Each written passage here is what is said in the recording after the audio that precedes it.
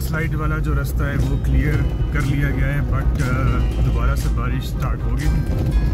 And we have just got the news के chances हैं further landslides के तो we have to move quicker ताकि हम टाइम uh, से डोमेल पहुँच जाएँ। वन मोर लैंडस्लाइड एरिया जहाँ पे uh, गाड़ियाँ पहले फंसी हुई थी और आर्मी ने फिर इस एरिया को क्लियर किया है लैंडस्लाइड को। और वही सेकंड प्लेस दोबारा हम लोग इसको पास कर रहे हैं।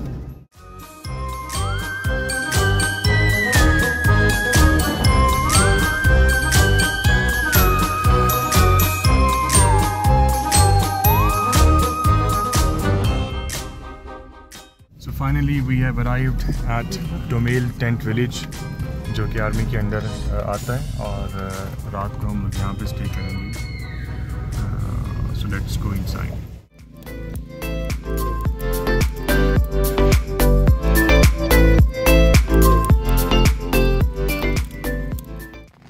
It's so peaceful over here.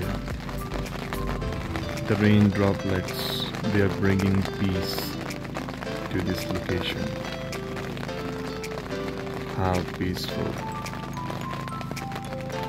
how serene it is feeling now.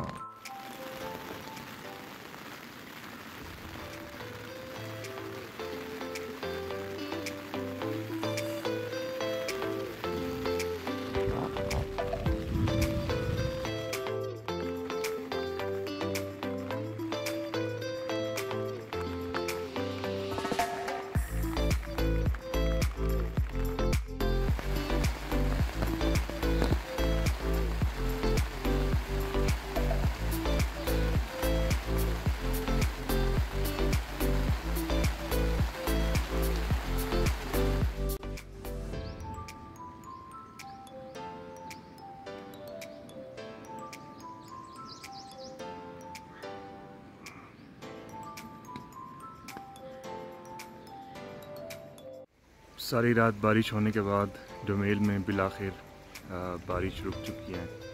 And still it's cloudy और चांसेस हैं कि रेन दोबारा से स्टार्ट हो सके। But the atmosphere over here that's really amazing सुबह का वक्त है, ठंडी ठंडक सी हो रही है।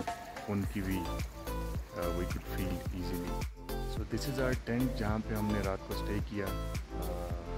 This tent is being installed by Domel administration जो कि बड़ा अच्छा इनिशिएटिव है कि जो नेचर लवर्स हैं they could also come over here और इन्जॉय कर सकते हैं एनवायरनमेंट